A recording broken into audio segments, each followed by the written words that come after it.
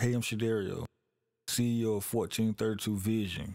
We recently shot two short films, and this is Behind the Sound.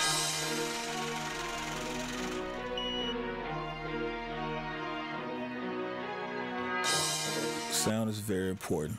It can either destroy your movie or take your story to the next level. From transitions to scaring the hell out of somebody.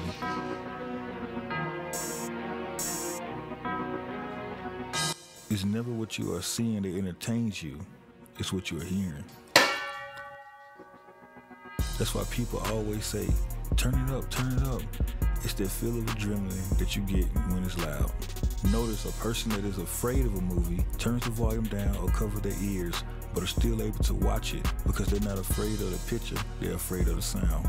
Quality is everything when it comes to sound. This is how people would take your movie seriously. I can remember before computers, we was recording on karaoke machines with the microphone in the closet, and it sounded like shit. But when we started going to professional studios and getting our songs professionally mixed, they started taking us seriously. It's always quality over quantity. People would rather have one item that is perfect than a hundred items that is worth nothing. I've been doing this film thing for about five years and have always had a passion in making movies. My first camera was a T3i. From that day, I have been putting my family in front of the lens and using whatever location I have. Every filmmaker or every person that want to make movies have done this.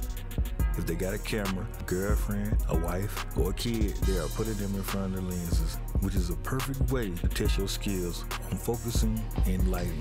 The one thing we always forget when starting this movie thing is testing the sound.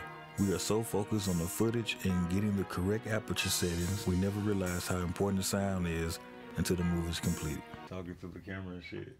You know what I mean? Yeah. It's weird as fuck because ain't nobody there. But you talk to the camera.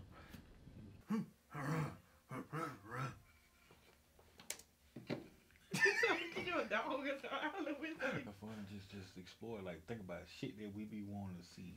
You know what I mean? Like just the different things we be wanting to see.